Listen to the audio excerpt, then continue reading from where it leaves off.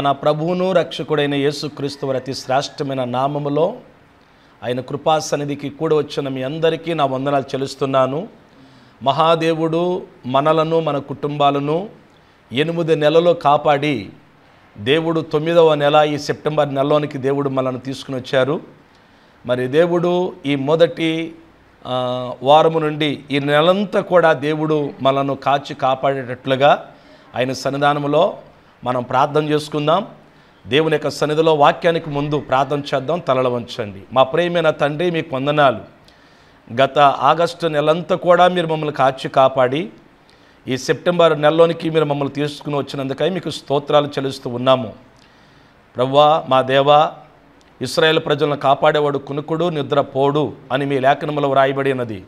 మమ్మల్ని అందరినీ మీరు కాపాడి మరొక నాయన మాసములోనికి మమ్మల్ని తీసుకొచ్చినందుకే మీకు స్తోత్రం చెల్లించుకుంటూ ఉన్నాము. మీ యొక్క సన్నిధిలో మేము ఉన్నాము. వాక్యం ద్వారా మాతో మీరు మాట్లాడమని ఏసునామని అడుగుచు ఉన్నాము తండ్రి. ఆమె ప్రభునందు ప్రియులరా గత వారము నేను మీతో మంచిది అనే అంశం మాట్లాడాను. ఈరోజు కూడా మంచిది అనేటువంటి అంశంలో నుంచి రెండవ పార్టు మంచిది అనేటువంటి రెండవ భాగంలో నుంచి నేను మీతో మాట్లాడాలని ఆశపడుతున్నాను. మీ దగ్గర బైబిల్ ఉన్నట్లయితే విలాప వాక్యములు మూడవ అధ్యాయము ఇరవై ఆరు వచ్చునని దేవుని వాక్యాన్ని చదువుకుందాం. నరులు ఆశ కలిగి యహోవ అనుగ్రహించు రక్షణ కొరకు ఓపికతో కనిపెట్టుట మంచిది. ప్రభునందు ప్రియులరా ఈ లేఖన భాగములో మనం చూస్తూ ఉన్నప్పుడు ఇర్మియా అనేటువంటి ప్రవక్త ఇస్రాయల్ యొక్క ప్రజలతో మాట్లాడటం ప్రారంభించాడు. ఇర్మియా అనేటువంటి ప్రవక్త అందరు ప్రవక్తల కంటే విభిన్నమైనటువంటి రీతిలో మనకి కనబడతాడు. ఈ ఇర్మి అనేటువంటి ఒక ప్రవక్తకి ఉన్నటువంటి మరొక పేరు ఏంటంటే విలపించే ప్రవక్త అని పేరుందండి. విలపించే ప్రవక్త. ప్రజల యొక్క బాధ ప్రజల యొక్క కష్టాన్ని ఆయన చూచినప్పుడు వెంటనే దైవ సన్నదానికి వెళ్ళి ఏడ్చి ప్రార్థించేవాడంట ప్రభువా ఇంత బాధలో ఉన్నారు వీళ్ళు. ఇన్ని శ్రమలు అనుభవిస్తున్నారు నాయన. ఈ శ్రమలు ఈ బాధలు ఈ కష్టాల నుంచి వీరిని విడిపించమని చెప్పి ఎప్పుడు కన్నీళ్ళు విడుస్తూనే ఉండేవాడంట. అందుకే ఆయనకి పెట్టబడిన ఆయనకి పెట్టినటువంటి ఒక పేరేంటనంటే విలపించే ప్రవక్త. ఇదే ప్రవక్త ఆ మాటకి మనము నిజంగా ఎందుకు ఆ పేరు ఆయనకి పెట్టారు అంటే నిజంగా ఆయన పేరు పెట్టటము నిజంగా తగినదే అనేటువంటి విషయాన్ని మనం గుర్తించవచ్చండి. ఆయన అంటాడు విలాప వాక్యములు మూడవ అధ్యాయము నలభై ఎనిమిది వచ్చునాన్ని చదువుదామండి. మూడు నలభై ఎనిమిది. నా జనులకు కలిగిన నాశనమును నేను చూడగా నా కన్నీరు వేరులై పారుచున్నది. ఏమన్నాడండి? మూడవ అధ్యాయము నలభై ఎనిమిదవ వచ్చునములో నా జనులకు కలిగిన నాశనమును నేను చూడగా నా కన్నీరు వేరులై పారుచున్నది. చూచారండి? ఈరోజు ఇలాంటి యొక్క ప్రవక్తలు అరుదుగా మనకి కనబడతారు కదా? మన కోసం కన్నీళ్ళు విడిచి మన కొరకు బాధ్యతగా ప్రార్థించేటువంటి సేవకులు మనకు ఉండాలండి అమెన్ హలలుయ మన అవసరాలు మన బాధలు మన కష్టాలు పంచుకునేవారు కావాలి మనకి. నా జనులకు కలిగిన నాశ్రమను చూడగా నా కన్నీరు వేరులై పారుచున్నది. వేరులై పారుతుందని అంటే ఎంత ఏడ్చుంటాడు చెప్పండి మీరు. ఏడ్చి ఏడ్చి ఏడ్చి ఏడ్చి ఎంత ఏడ్చాడంటే అందుకే ఆయనకి పెట్టబడిన పేరు విలపించే ప్రవక్త. ఇదే ప్రవక్త ఇస్రాయేల్ యొక్క ప్రజలంట సుకుమార భోజనం చేసి చక్కటి అందమైనటువంటి ఆకృతి కలిగినటువంటి శరీరము రూపం కలిగి చాలా మంచి మంచి బట్టలు ధరించుకుని చాలా చక్కగా సుఖభోగాలు అనుభవిస్తూ ఉండేవాళ్ళంట. అలాంటి వాళ్ళు దేవుని మాట వినకుండా దేవునికి లోబడకుండా వారు తనకి దేవుడు చేస్తున్న మేలులకు తగినట్లుగా ప్రవర్తించుకుని ఇష్టానుసారంగా జీవించటం ద్వారా వారి మీదకి భయంకరమైనటువంటి శోధనలు ఎదురయ్యాయి. ఎదురైనప్పుడు ఆ టైంలో వాళ్ళు ఎంతో బాధపడుతూ ఉన్నప్పుడు ఇర్మియా ప్రవక్త వాళ్ళ దగ్గరకు వచ్చి అంటున్నాడు నరులు ఆశ కలిగి ఏం కలిగంట అండి? నరులు ఆశ కలిగి యహోవ అనుగ్రహించు రక్షణ కొరకు ఓపికతతో కనిపెట్టుట మంచిది. అంటే దేవుడిచ్చేటువంటి రక్షణను ఓపికతో కనిపెట్టుట మంచిది. దేవుడు రక్షణ ఇచ్చువాడై ఉన్నాడు. దేవుడు రక్షణ ఇస్తాడు. అమ్మా ఆత్మరక్షణ ఇచ్చేవాడు ఆయనే ప్రాణరక్షణ ఇచ్చేవాడు ఆయనే. అందుచేత ఏం చేయాలంట? దేవుడు అనుగ్రహించే రక్షణను పొందుకోవటానికి ఓపికతో మీరు కనిపెట్టండి అని తెలియచేశాడు. ఈరోజు దేవుని వాక్యం ఉంటున్న ప్రియ సహోదరి సహోదరుడా ప్రియ తల్లి దేవుడు మాట్లాడుతున్నాడు. ఆయన అనుగ్రహించేటువంటి రక్షణ కొరకు ఓపికతో మీరు కనిపెట్టండి. వీళ్ళు డెబ్బై సంవత్సరాలు బబులోని యొక్క దేశంలో వారు బానిసలుగా ఉన్నారు. వారికి ఇప్పుడు ఏం కావాలి? విడుదల కావాలి. వాళ్ళకి రక్షణ కావాలి.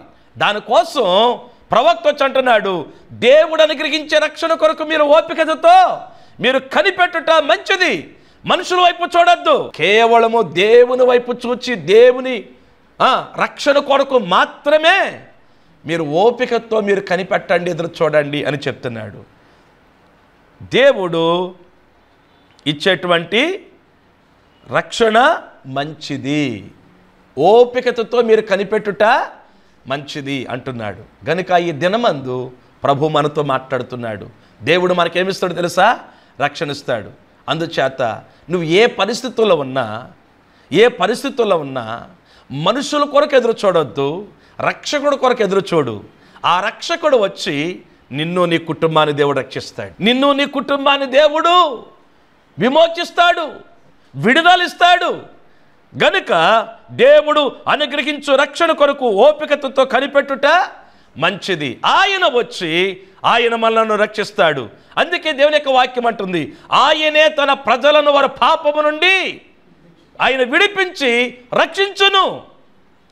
మనల్ని రక్షించేటువంటి ఒక రక్షకుడు ఎవరంటే యేసు ప్రభువారి. అందుకే యేసు అంటే అర్థం రక్షకుడు అని అర్థం. మనల్ని రక్షించేవాడు కొరకు మనం చేయాలి? మనం కనిపెట్టుకోవాలి. మనకు మేలు చేసే వ్యక్తి కోసం మనం కనిపెట్టుకోవాలి. రెండవ మాటలోకి వెళదామండి. రెండవ మాట ఓపికతతో ఎదురు చూచే రక్షణ పొందుట మంచిది. ఆయన ఇచ్చేటువంటి రక్షణను మనం పొందుకోవాలి.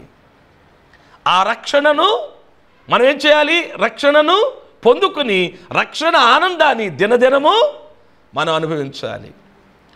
మొన్న నేను పాశ్రం గారు ఒక చోటకి వెళ్ళాం. వెళ్ళి అక్కడ కార్యక్రమం చూసుకుని అక్కడ నుంచి ఒక ఇంటికి వెళ్ళాం. దేవుడి గురించి రెండు మాటలు చెప్దామనేటువంటి ఒక భావంతో వెళ్ళాం. వాళ్ళు ఏ మాత్రము కూడా ఈ రక్షణను అంగీకరించటానికి వాళ్ళకి ఇష్టం లేదు. బైబిల్ గ్రంథం చెప్తుంది ఇంత గొప్ప రక్షణను మనం నిర్లక్ష్యము చేసిన ఎడల ఎలాగూ తప్పించుకుంటామని బైబిల్ చెప్తుందండి. ఇదే అనుకూలమైన సమయం ఇదే మిక్కిలి అనుకూలమైన సమయం. నేడే రక్షణ దినం రేపేమి సంభవించును? నీకు తెలియదని దేవుని యొక్క వాక్యం చలవిస్తుంది. నేడే నేడే అంటే ఈ రోజే. నువ్వు ఈ రక్షణను నువ్వు కోరుకోగలిగితే ఈ రక్షకుడి దగ్గరికి రాగలిగితే ఈ రక్షణ నీకు ఇవ్వటానికి దేవుడు సిద్ధంగా ఉన్నాడు. ఈ రక్షణ నీకు ఇవ్వటానికి దేవుడు సిద్ధంగా ఉన్నాడు.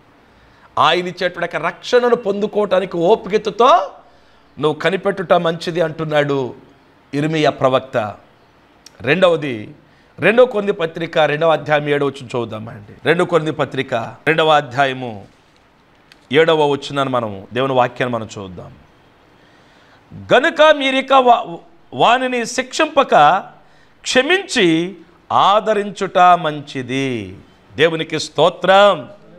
రెండవ మాట మనం చూస్తే క్షమించి ఆదరించుట మంచిది. అంటే ఒక వ్యక్తిని అంట మనం ఏం చేయాలంట? ఎంత అద్భుతమైన మాట చూడండి.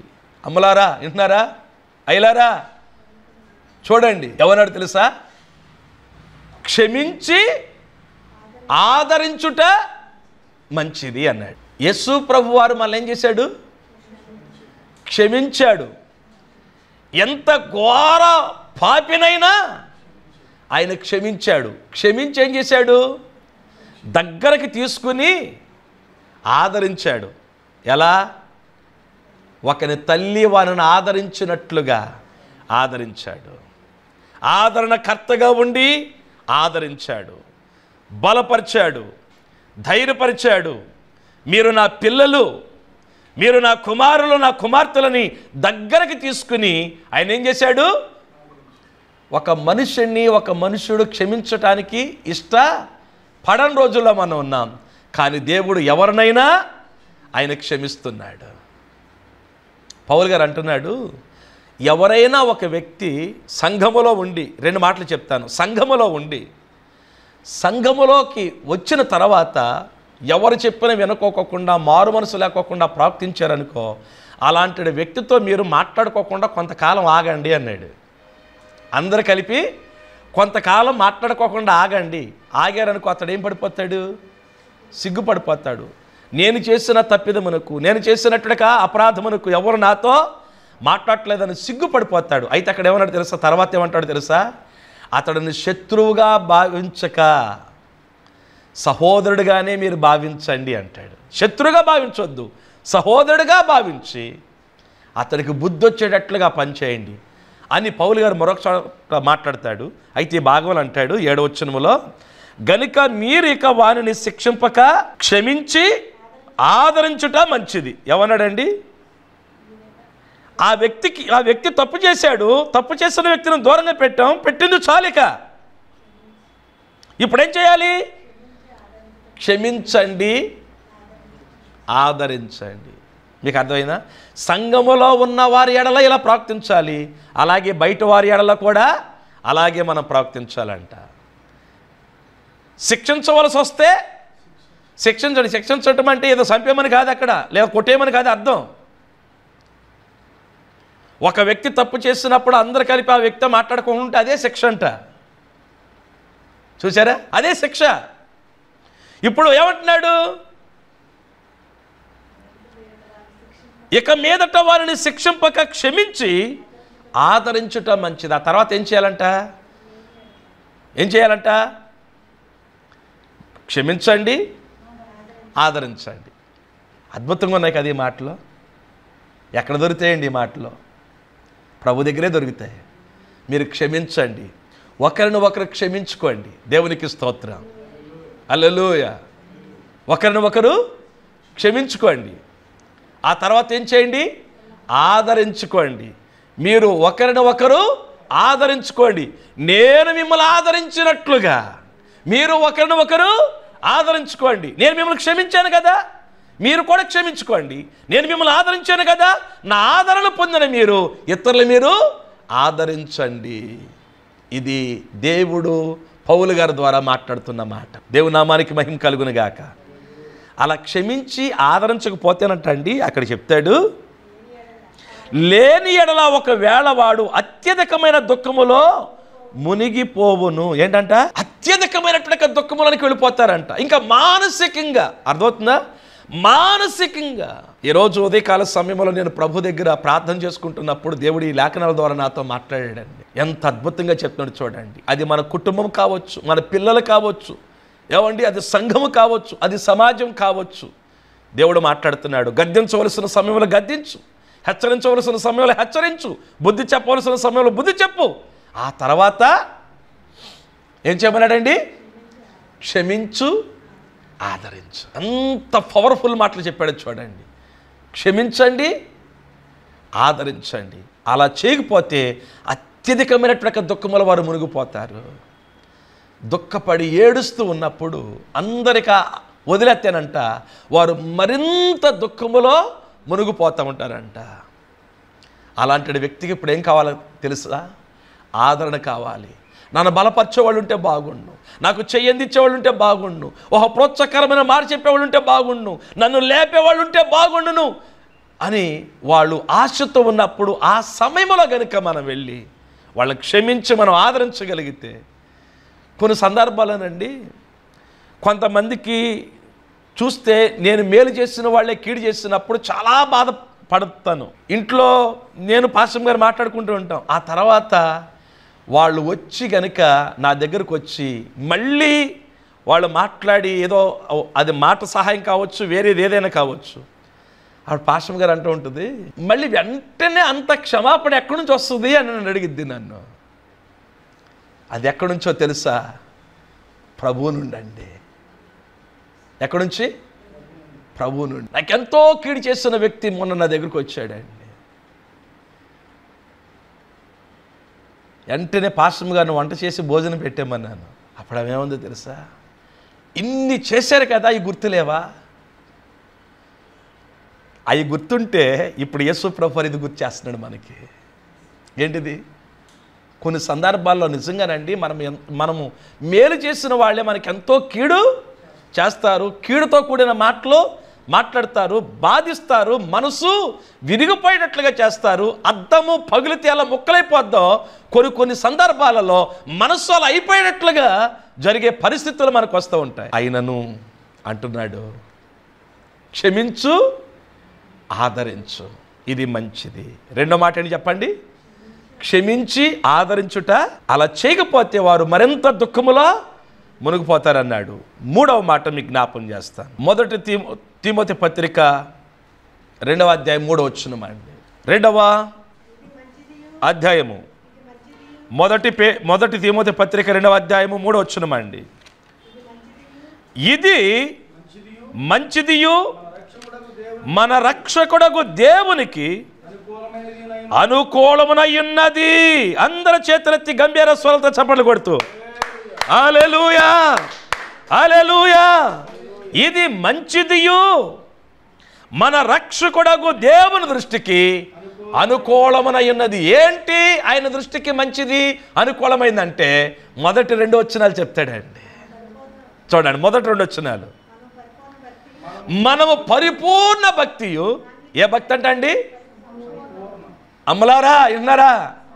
ఏ భక్తి అంట సంపూర్ణమైన భక్తి. అర్థమైందా? అసంపూర్ణమైన భక్తి కాదు. మనము చేయవలసింది సంపూర్ణమైన భక్తి చేయాలి. వినాలి. ఏ భక్తి? సంపూర్ణమైన భక్తి. లోపము లేని భక్తి.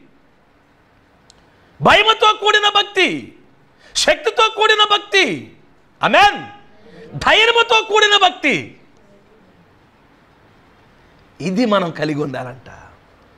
మనము సంపూర్ణమైన భక్తి మానిత్యు కలిగి నెమ్మదిగాను సుఖముగాను బ్రతుకు నిమిత్తము అన్నిటికంటే అన్నిటికంటే ముఖ్యమైనది ఏంటంట?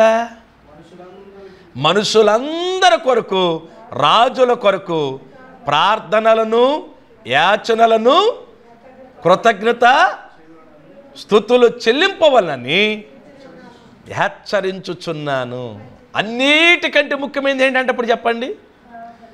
అన్నిటికంటే ముఖ్యమైన దాన్ని మనం ఏం చేస్తాం తెలుసా? చివర పెడతాం. అన్నిటికంటే ముఖ్యమైన దానికి ఇవ్వాల్సిన ప్రాధాన్యత మనమేమో.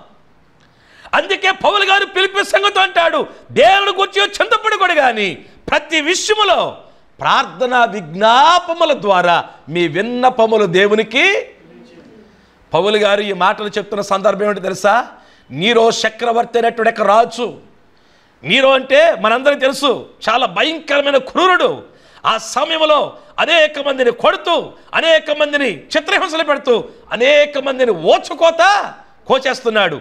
ఆ సమయంలో పౌలు గారు హెచ్చరిక చేస్తున్నాడు తిమోతి తన ఆత్మీయ కుమారుడికి లెటర్ రాస్తూ తిమోతి చాలా జాగ్రత్తగా ఉండాలి.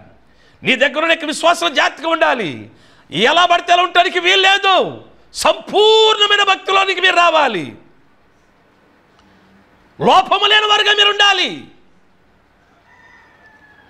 అన్నిటికంటే ముఖ్యముగా మనుషులందరి కొరకు రాజుల కొరకు మనం ప్రార్థన చేయకపోతే ఎవరు చేస్తారు ప్రార్థన? ప్రార్థించవలసిన మనమే. ప్రార్థన చేయకుండా నిద్రపోతే ప్రపంచం మరణావస్థలనికి వెళ్ళిపోద్ది. లేమో నడుము కట్టు! ఆత్మదీపాన్ని వెలిగించు. మీరందరూ కలిసి ప్రార్థన చెయ్యండి. అని చెప్తే ఏమన్నాడు తెలుసా? ఇది మంచిది. ఏది మంచిది? సంపూర్ణ భక్తి కలిగి లోపము లేని వారిగా ప్రార్థన జీవితం కలిగి ఉండటము ఇది మంచిది. ఎలా పడితే అలా ఉండటం మంచిది. మీకేమో కానీ దేవుడి వాక్యం ద్వారా నాతో మాట్లాడుతున్నాడు అండి నా హృదయంతో సూటిగా మాట్లాడుతున్నాడు దేవుడు. సంపూర్ణ భక్తి అసంపూర్ణత కాదు. నామకార్థమైన భక్తి కాదు. పై పై భక్తి కాదు. వేషధారణ భక్తి కాదు. పైకి భక్తి పరిణామాలు ఉండి దాని శక్తిని ఆశ్రయించిన వారిగా ఉండడానికి వీలేదు శక్తితో కూడిన భక్తి మీరు కలిగి ఉండండి. ఎంతమందితో మాట్లాడుతున్నాడు? ఆయన నాతో మాట్లాడుతున్నాడు. ఈ అనుభవం కలిగి ఉండటం ఇది మంచిదంట. ఎవరికి? మన రక్షకుడు దేవుని దృష్టికి అనుకూలమై ఉన్నది. ఇది దేవుని దృష్టిలో మంచిది దేవునికి అనుకూలమై ఉన్నది అని చెప్తున్నాడు. ప్రియా దేవుని బిడ్డారా గమనించండి. మనుషులందరి కొరకు మనం ఏం చేయాలంట? ప్రార్థనలు యాచనలు కృతజ్ఞతాస్థుతులు. దేవునికి స్తోత్రం. మనం ప్రార్థన చేస్తున్నప్పుడు ప్రార్థనకి నేను కొంతమంది పేర్లు పెట్టి రోజు ప్రార్థన చేస్తూ ఉంటారు అవసరాల కొరకు. ఆ ప్రార్థనకి దేవుడు జవాబు ఇవ్వగానే నేను నేను రాసుకున్నది అక్కడ టిక్ పెట్టుకుంటా. అంటే ఈ ప్రార్థనకి ఇక ప్రా జవాబు వచ్చింది దీనికోసం మనం ప్రార్థన చేయవలసిన అవసరత లేదు అని చెప్పి. మొన్న కొన్ని విషయాల కొరకు ప్రార్థన చేస్తూ ఉన్నప్పుడు ఒక సహోదరు వచ్చి అయ్యా నేను వచ్చి చెప్దాం అనుకున్నాను నాకు మంచి కంపెనీలో జాబ్ వచ్చింది అని చెప్పారు. ఆ ప్రార్థన లిస్టు చూసుకున్నాను అది కొట్టేశాను. ఇంకొకరి కోసం ప్రార్థన చేస్తున్నాను వాళ్ళు చెప్పారు అయ్యా నేను కనసీవన్ అయ్యాను. దేవుడు నా పట్ల మేలు చేశాడు. అక్కడ పేరు అంటే అర్థమవుతుందా మీకు? దేవుడు జవాబు ఇచ్చాడు. మనము ప్రార్థన పరులంగా ఉండాలంట. ఒక మాట చెప్పమంటారా? మోకాళ్ళ మీద ఉండి ప్రార్థన చేయటం మంచిదే. మోకాళ్ళ మీద కనుక మనం ఉండగలిగితే కనుక అన్నీ మన ఎదుట మోకరెళ్తాయంట ఒకవేళ శారీరక బలహీనతను బట్టి మోకాళ్ళ నొప్పులు ఉంటే మోకాళ్ళ మీద ఉండలేకపోయినా నువ్వు కూర్చుని ప్రార్థన చేయి దేవుడు వింటాడు. కూర్చుని ఓపిక లేదా? పడుకుని ప్రార్థన చేయి దేవుడు వింటాడు. లేదా? నడుస్తా ప్రార్థన చేయి దేవుడు ప్రార్థన అంటాడు ఎనడా నిలబడి ప్రార్థన చేసిన బైబిల్ ఉంది. మోకాళ్ళ మీద ప్రార్థన చేసిన బైబిల్ ఉంది. సాష్టంగా పడి నమస్కారం చేసి ప్రార్థించిన బైబిల్ ఉంది. విభేద రూపాల్లో వాళ్ళు ప్రార్థన చేస్తున్నప్పుడు వాళ్ళ ప్రార్థన దేవుడు విన్నాడు. మన ప్రార్థన కూడా దేవుడు వింటాడు. నాలుగవ మాట చూపించి ముగిస్తానండి. దేవునికి స్తోత్రం. ఎబ్రి పత్రిక పదమూడవ అధ్యాయం తొమ్మిదవ అండి ఎబ్రి పత్రిక పదమూడవ అధ్యాయము తొమ్మిదవ వచ్చును నానా విధములైన అన్య బోధల చేత త్రిప్పబడకుడి. భోజన పదార్థములను బట్టి కాక కృపను బట్టి హృదయమును స్థిరపరచుకున్నట మంచిది. అందరు చేతులు తేసేకి మహించలేద్దామా? ఎవనాడండి? నానా విధములైన అన్య బోధల చేత త్రిప్పబడకుడి. రకరకాల బోధలు వచ్చేస్తున్నాయండి ఇప్పుడు. ఏంటి చెప్పండి? రకరకాల యొక్క బోధలు వచ్చేసి అన్ని బోధలతో నీవు త్రిప్పబడకూడదు.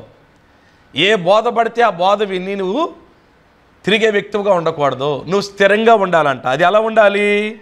ఏమన్నాడు భోజన పదార్థములు బట్టి కాక కృపను బట్టి హృదయమును స్థిరపరచుకున్నట మంచిది. అంటే కృప ద్వారా హృదయాన్ని ఏం చేయాలి?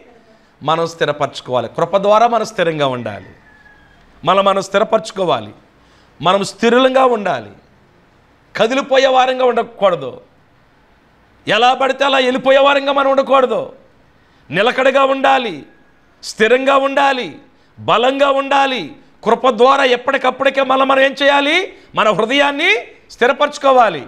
అస్థిరమైనటువంటి వారంగా ఉండకూడదు. దివ మనసు కలిగి ఉండకూడదు. మన హృదయం అనంట మనమంట స్థిరపరచుకోవాలంట. స్థిరపరచుకోవాలి. స్థిరంగా ఉండాలి. ఎక్కడ?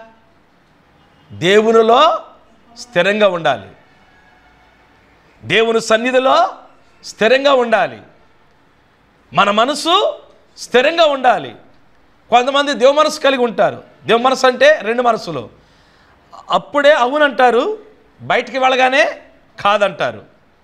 దీన్నే స్థిరత్వం లేనివారు అస్థిరులు అంటారు. స్థిరత్వం లేనివారు అస్థిరత్వం కలిగినటువంటి వారు ఎప్పుడు దేవునికి ఇష్టంగా ఉండరు. వాళ్ళు దేవుని యొక్క సంఘములో ఎప్పుడు స్థిరంగా ఉండరు. దేవుని సంఘాన్ని కూడా స్థిరంగా ఉండనివ్వరు. ఈ అస్థిరల ద్వారా వాళ్ళకి మాత్రమే కాదు ప్రమాదం. దేవుని సంఘానికి చాలా ప్రమాదం అండి.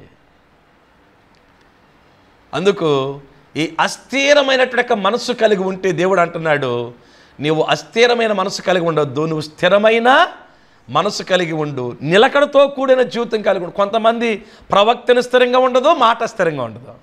కదా? ప్రవక్తన స్థిరంగా ఉండదు వాళ్ళ మాట స్థిరంగా ఉండదు. అలాంటి వాళ్ళ ద్వారా ఏమైనా ప్రయోజనం ఉంటుందంటారా? ఏ ప్రయోజనం ఉండదండి.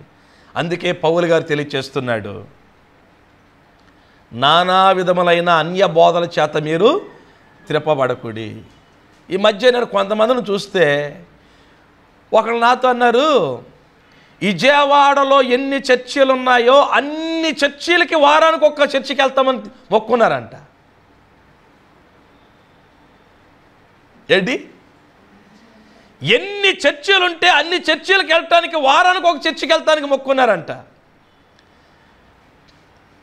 ఈ లోపల యేసుప్రభు వచ్చేస్తాడు. మరి ఎవరికి లెక్క అప్పగిస్తావు? ఎవరు నీ కాపరి? మరి సేవకుడు కూడా నీ విషయంలో ఎలా లెక్క అప్పగిస్తాడు?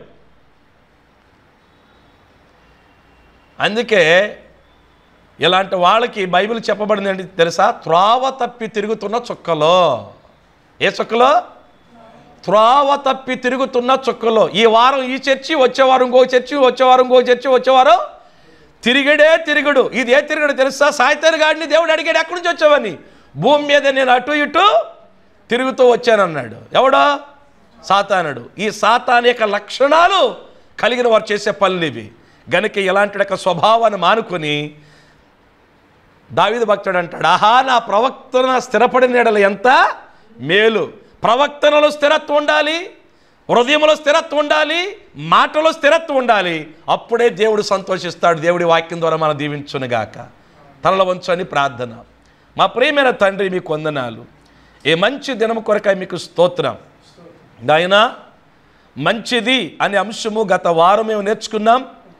ప్రవ్వా ఈ వారం కూడా మంచిది అనేటువంటి అంశములో నుండి మీరు మాతో మాట్లాడినందుకే మీకు స్తోత్రాలు చెల్లిస్తూ ఉన్నాం.